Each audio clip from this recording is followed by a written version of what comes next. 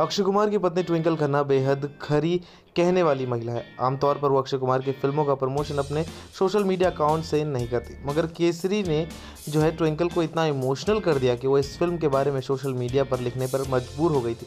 आपको बता दें कि बुधवार रात को अक्षय ने अपने परिवार और दोस्तों के साथ जब केसरी की स्क्रीनिंग रखी थी, उसमें खुद अक्षय, ट्विंकल और डिम्पल कबाड़िया शामिल हुई थी। वहीं फ़िल्म देखने के बाद ट्विंकल ने ट्वीट किया था कि ज़बरदस्त एक्शन के साथ अदम्य साहस को हिला देने वाली कहानी। मेरा पूरी तरह पक्षपात पूर्ण विचार है। मैं वाकई में नहीं चाहती थी, मगर फ़िल्म के अंत में हर किसी को मेरी तरह रोना आ ही जाएगा। आपको बता दें कि वो फ़िल्म देख के काफ़ी इमोशनल हो गई थी। उसके बाद जैसे ही फ़िल्म को तगड़ा रिस्पांस मिलने लगा, वो और भी ज़्यादा इमोशनल हो गई। अक्षय की सफलता दिन ब दिन बढ़ती जा रही है। इस पर भी ट्विंकल ने एक प्रेस कॉन्फ्रेंस के दौरान कहा कि अक्षय एक ऐसे एक्टर हैं जो कि लोगों के बीच में सच्चाई लाने के लिए जाने जाते हैं। आपको बता दें कि अक्षय की ज़्यादातर मूवीज़ के अंदर ट्विंकल खन्ना उन्हें प्रोड्यूस करने के लिए आतुर रहती हैं।